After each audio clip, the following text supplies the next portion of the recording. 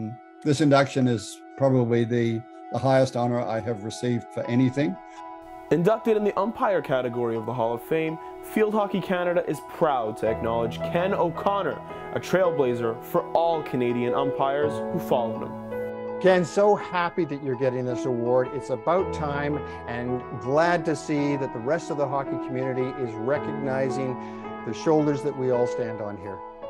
Among many accomplishments, Ken was the first Canadian male umpire to officiate both the Olympics and FIH World Cup. Well, I'm very, very happy for Ken. I, I, obviously, uh, he's a wonderful umpire and many other things as well. Great gentleman and an Aussie. And Ken grew up in Melbourne, Australia, where he was introduced to field hockey at 11 years old and had been hooked ever since.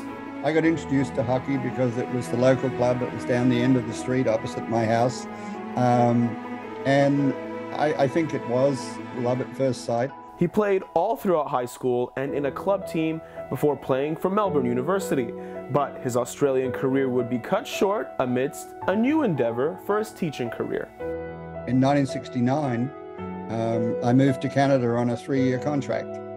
Uh, and 54 years later, I'm still here. Ken quickly rose up the ranks as a newfound Canadian and played for the Ontario provincial team a year later. My introduction was simply um, going to Sunnybrook Park and uh, seeing the game being played and saying, oh, can I join in sort of thing. During his playing career, he also rediscovered his passion for a role that would end up defining his legacy in Canadian field hockey. I started umpiring um, in, before I left Australia um, there was a lot of encouragement for clubs to develop umpiring, so we were generally encouraged to, to try umpiring, um, which I did, um, and, and enjoyed it. And uh, when I came to Canada, I saw myself as both a player and an umpire. And then over time, transitioned to seeing myself as an umpire who played a little. Ken's umpiring journey came at a perfect time for Canadian field hockey as his success in the role was a natural fit. It, uh, it changed the umpiring game a little bit in, in Canada, having, having Ken there, and uh, we got away from a, a, little bit more of a, uh, an amateur approach to umpiring. His dedication to his craft was insurmountable. He was always very concerned that his umpiring was top quality, not only from the perspective of knowledge of rules and application of rules, but also he had great empathy for the players, the, the spirit of the game.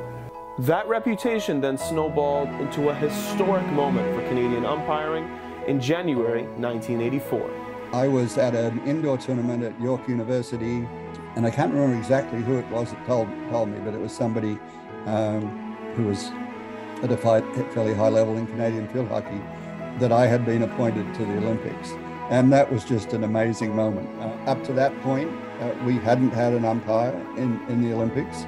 So to be the first one was, was very special. If Ken had not been at that level uh, earlier in the game, that many of us coming up uh, might not have, we might have had a few raised eyebrows. Or a Canadian coming into the system on the men's side, Ken, in essence, broke, broke the water for us, for the rest of us coming through. In the years to come, Ken would continue to excel in his craft as he also umpired in the Pan American Games.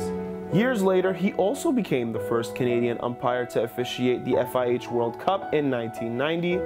Knowing that it, I was close to the retirement age, I decided that it was appropriate to say, okay, this is going to be the end of my international umpiring. And so I decided and announced before the World Cup that I was retiring after the World Cup. After his international retirement, Ken would continue to umpire in Canada for another 23 years before fully stepping back in 2013. Looking back on his career, Ken and those who knew him are proud of how he trailblazed the path for Canadian umpires and for his dedication to being the best umpire he could be. I would be surprised if there's anybody who wouldn't have a, a very high regard for what he has done.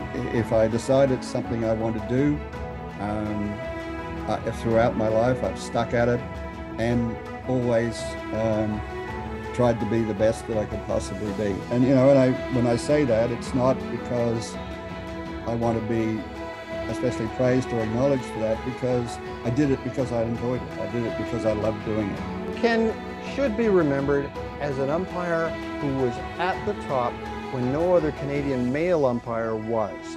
And that made a difference to everyone else coming up through the system generation after generation after generation.